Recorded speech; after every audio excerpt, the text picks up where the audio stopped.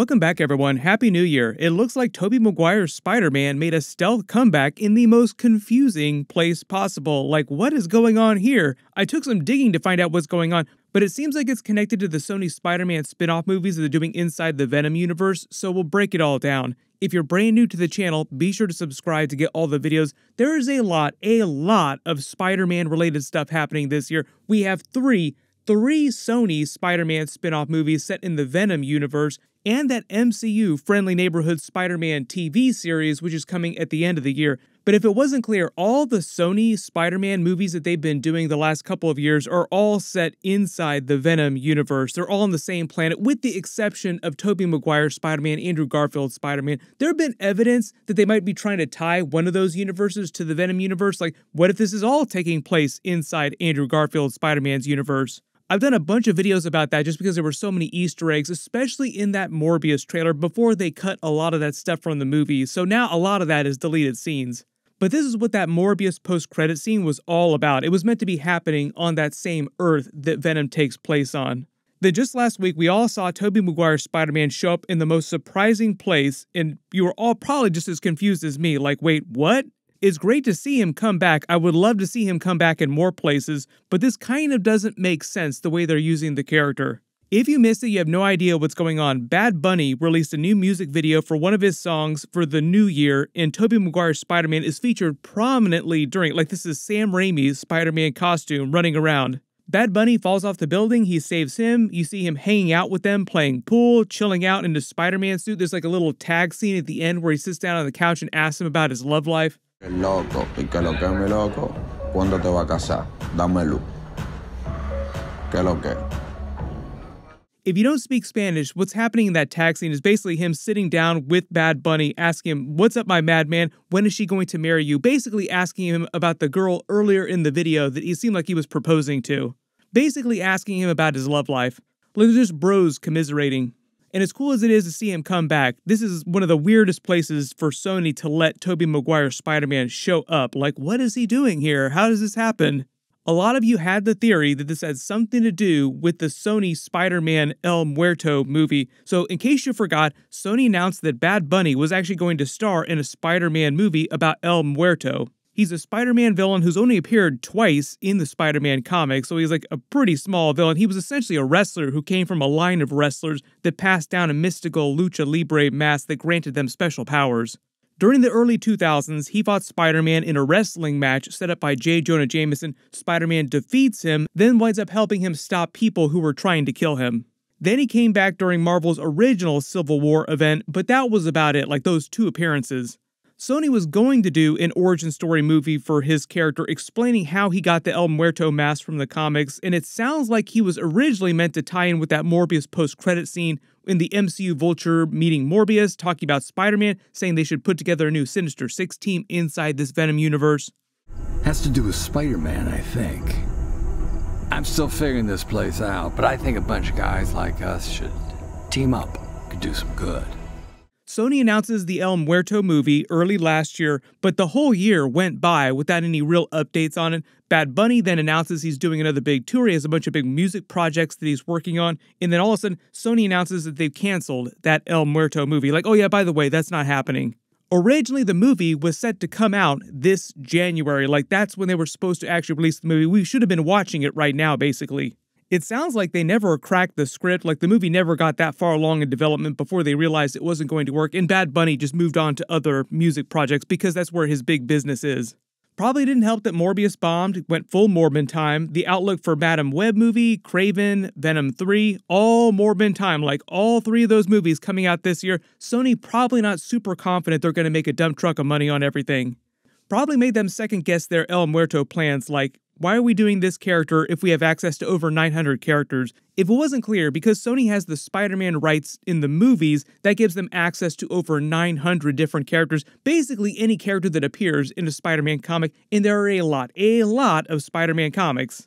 So they're like 899 more popular characters for them to pick from if they want to do more spin off movies especially if they're trying to tie all these different movies together in a Sinister Six franchise, sort of reinvigorating what they were originally going to do back during the Andrew Garfield era. If it wasn't clear, way back when Andrew Garfield was still the main version of Spider Man, his Amazing Spider Man movies were happening. They were going to do Amazing Spider Man 3. That original Amazing Spider Man 2 post credit scene with the Sinister Six was meant to set up a completely separate movie. It wasn't meant to set up Amazing Spider Man 3. It was actually supposed to set up a completely separate Sinister Six movie that would have turned into a Sinister Six trilogy with Spider Man just appearing in it. And funny enough, while I was making this video, they dropped like another big Daredevil and Kingpin trailer talking about all the Defenders coming back into the MCU. Don't worry, I'll do a video about that eventually too. That's a really big deal, but it's a completely separate thing. But the person who created the Daredevil Netflix series, like the original Daredevil Netflix series, actually created the Sinister Six spin off movie. He was going to start that big Sinister Six franchise for Sony. So, what does this have to do with Tobey Maguire's Spider Man winding up in a Bad Bunny music video? I like the theory that Sony let Bad Bunny use Tobey Maguire's Spider Man here in his music video because it was part of his contract for the El Muerto movie. Like, Sony canceled the movie for whatever reason, his contract just gave him the ability to use that character anyway, or less likely, they let him use the character out of the goodness of their hearts. Like, when does a major corporation like that give away rights to a billion dollar character for free?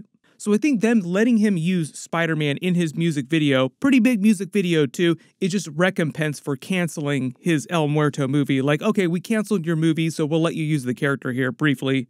You have to imagine originally they would intend to connect El Muerto to all these other Spider Man movies like Venom 3, Kraven, that Morbius post credit scene, all the other characters in El Muerto's post credit scene. Like he meets one of them in his post credit scene, teasing a bigger Sinister Six crossover.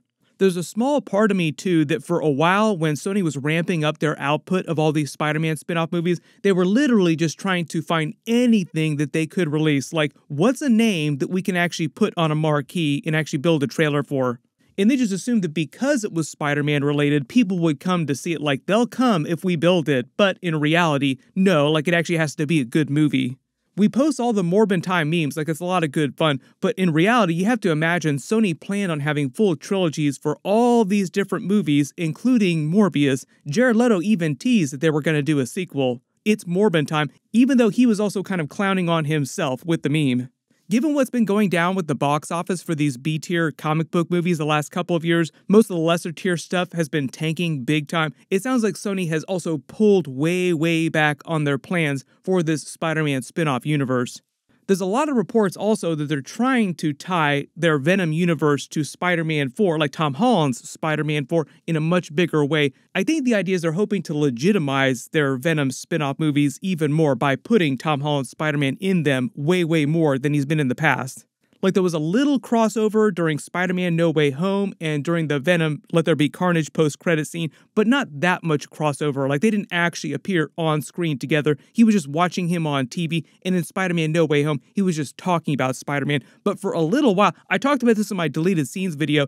There was actually a version of Spider Man No Way Home where Venom was actually going to go to New York City, like he talked about in the post credit scene. Like, maybe I should go to New York City and talk to that Spider Man.